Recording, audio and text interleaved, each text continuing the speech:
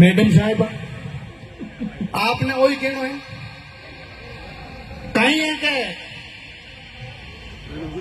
लार बैठे नंगारा बचावे बिकी न्यू शरणुबाई का बच्चा है।